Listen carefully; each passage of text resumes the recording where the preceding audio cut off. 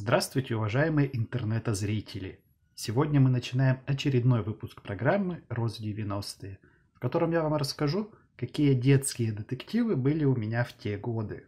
В студии Эмрум, поехали!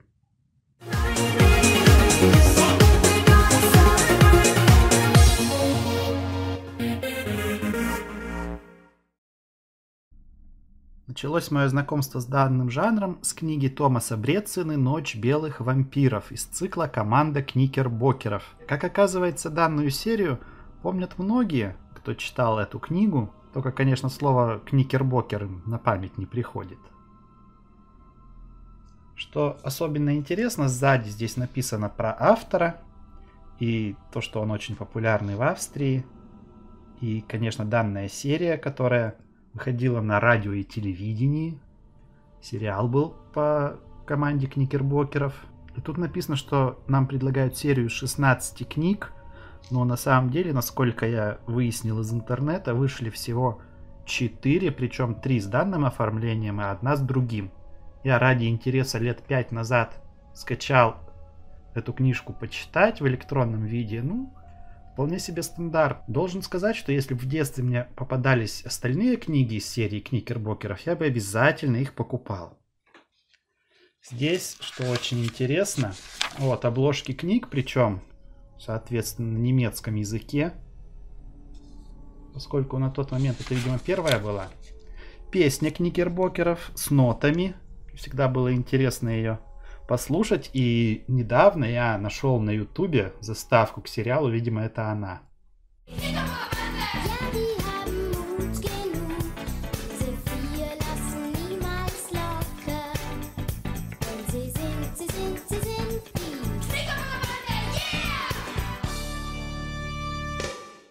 А еще тут карта Австрии. Главные герои книг, которые у нас издавались издательством Кристины и Ольга, это 9-13-летние мальчики и девочки, которые расследуют какие-то преступления, причем в этих детских детективах обязателен элемент ужастиков. Когда я читал эту книгу в 92 году, мне было 9 лет, как самой младшей участнице Поппи. Вот. Потом на следующий год мне стало 10, и потом еще пришлось 3 года ждать, когда мне станет 13, я уже буду одним из самых старших кникербокеров.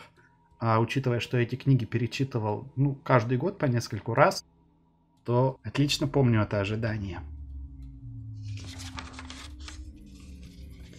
Нам рассказывают, почему команда кникербокеров получила такое название. Оказывается, в немецком языке это укороченные брюки или бриджи. Ну и сама книга «Ночь белых вампиров» многим запомнилась, потому что там действуют вампиры белой сосиски – не знаю, в немецком языке это также смешно звучит, как у нас или нет. Картинки здесь неплохие, кстати. Черно-белые, ну и что? Читается, особенно в детстве, на одном дыхании. Страшновато, ну, в 9 лет, возможно, было страшновато, но после второго прочтения уже это все, конечно же, несколько устарело. Надо сказать, что автор пишет в отличном стиле, и перевод был довольно хороший у данной книги. Вездесущий Отто Кар. Помните такого, если читали? Вот такой вот дяденька был. Ведущий на радио, по-моему. Нет, наоборот, они думали, что на радио, он на телевидении был ведущим. Вот те самые символы белой сосиски. Как всегда в 90-е, тогда обычно западные вот такие книги по две в одной издавались. И второй, вторая повесть «Призрак в школе». Отсылка к «Призраку оперы». Кстати, про сам мюзикл «Призрак оперы» я узнал именно вот из этой книги. Потому что в конце, спойлер, ребята смотрят на этот мюзикл из-за кулис. Кстати говоря, Томас Бретсон написал, естественно, не только эту серию. Еще у нас в конце 90-х издавалась команда тигров некая, но я уже не читал ни одной книги из данной вселенной. Сейчас я, конечно, вряд ли порекомендую прочитать Ночь белых вампиров, Призрак в школе. Ну, разве что вам действительно 9-10 лет, и вы хотите каких-то интересных детективов именно детских. И это довольно-таки неплохое вхождение в жанр для всех детей. Ну и, конечно, элементы ужастика делают свое дело. Но в конце концов все оказывается реалистично. И никаких фантазий. То есть вампиры, конечно же, не настоящие оказываются. Призрак не настоящий. Но от этого только интереснее. Когда герои начинают разгадывать эти все тайны. Пожалуй, самыми популярными книгами в серии «Детский детектив» были «Братья Харди» за авторством Франклина У. Диксона. Вот этот логотипчик, помните? Он на разных книгах стоял. Надо сказать, что Франклин У. Диксон – это псевдоним, причем такой коллективный псевдоним литературных рабов, потому что сами братья Харди были придуманы еще в 1927 году, и хозяин издательства заказывал разным авторам очередные книги, он там придумывал завязку, вкратце сюжет, персонажей описывал, и уже непосредственно авторы сами писали все произведение. Причем у них, конечно же, не оставалось никаких прав.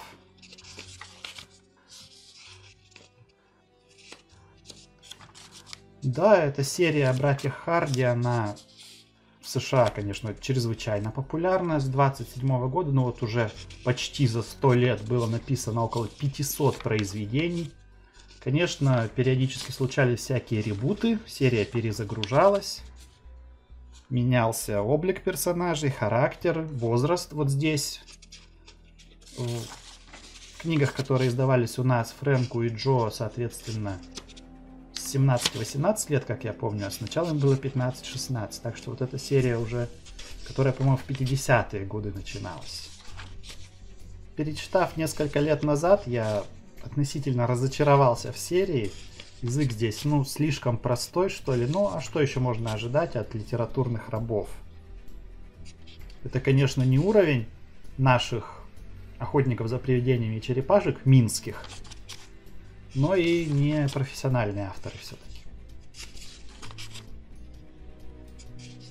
В США выходили несколько телесериалов, полнометражных фильмов, пара игр на PC, на DS.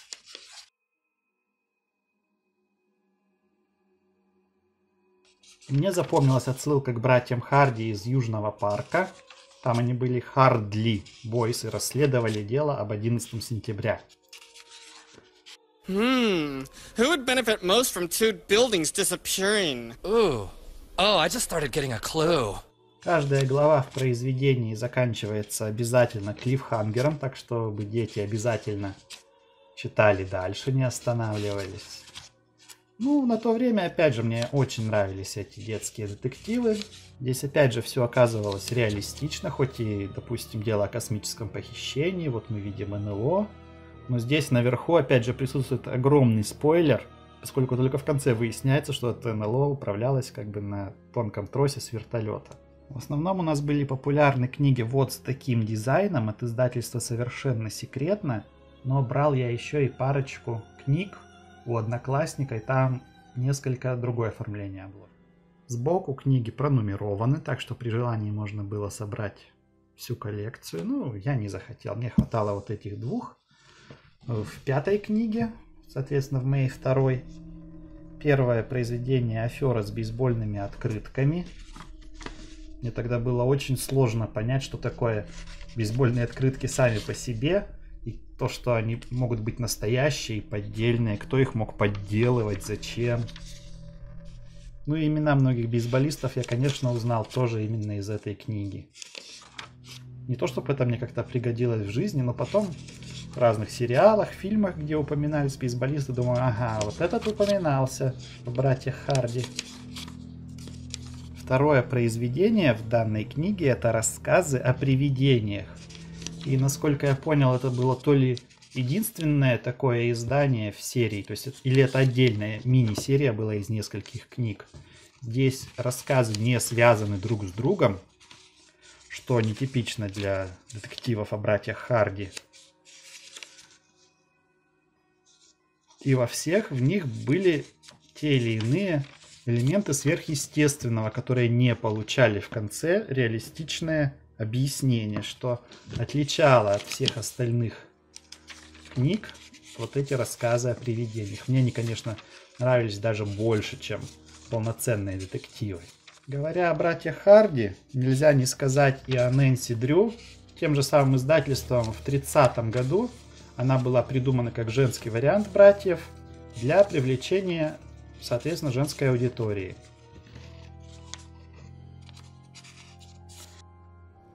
Со временем Нэнси Дрю стала символом чуть ли не феминизма. Я читал одну книгу о Нэнси Дрю, иногда ее у нас называли Нэнси Дру, Тайна фермы Алые ворота. Я брал ее у одноклассника. Ну и должен сказать, что это те же самые детские детективы, просто с другим главным героем. Кстати, по Нэнси Дрю с 90, по-моему, 8 года выходят на компьютеры квесты от одной и той же фирмы. И уже больше 30 штук. Я ни в один не играл, поэтому ничего не могу сказать. Ну и также про Нэнси Дрю были сериалы, фильмы. Причем некоторые из них были, скажем так, кроссоверами о братьях Харди и Нэнси Дрю. Конечно, прошло время, и наши российские авторы подумали, а чем они хуже, мы можем тоже создавать детские детективы. Серия, кстати, та же. И так у меня появилась книга Валерия Роньшина «Тайна зефира в шоколаде» из цикла о приключениях Эммы Мухиной. Как написано в самой книге, это первый российский детский детектив. И надо сказать, что первый блин вышел таким комом, что просто кошмар. Для того, чтобы поиметь представление о сюжете, ну, надо сказать, что книга написана от первого лица. Автор пытается всякие модные словечки пихнуть в повествование. Ну а сюжет, ну не знаю. Это все равно, что любой российский боевик из 90-х про международных шпионов по сравнению с Джеймсом Бондом. Плюс представьте, что там в качестве главных героев действуют школьники. Они путешествуют по разным странам, пользуются пистолетом, сотрудничают с ФСБ, с милицией, становятся разведчиками. Конечно же, появляется, оказывается, что учительница, которая преподавала у них несколько лет, это иностранная шпионка. Ну, бред бредом, дичь еще большая, чем в той же книге «Охотники за привидениями» и Барбинелла, которая у нас выходила от минского издательства. Во второй книге «Тайна африканского колдуна» рассказывается история, ну здесь чуть меньше бреда в том смысле, что главные герои не ездят каждый день в разные страны мира, но зато довольно нетипично, что в детском произведении Э, в сюжетообразующую роль играют наркотики. То есть с наркосиндикатом разбирается Эмма Мухина и описываются разные эффекты от их применения, что когда ей подсыпали, что с ней было там. Ну, кошмар, кошмар. В общем, после этой книги я перестал покупать детские детективы, какие бы то ни было. А у Роншина выходили еще книги, в том числе тайна московского водопровода. Я даже боюсь представить, кто там будет действовать в этой книге. Потом у него выходила еще одна серия, по-моему, Григорий Молодцов звали главного героя, но я, конечно же, не читал и не собираюсь. В общем, бегите от российских детских детективов как от огня. Лучше обратите свое внимание на команду кникербокеров или братьев Харди, ну и Нэнси Дрю, конечно. С вами был Эмрум. Увидимся с очередными артефактами из 90-х на канале от Винтаж. And Parker Stevenson. Spider-Man? Hardy Boy. Peter Parker. Thank you.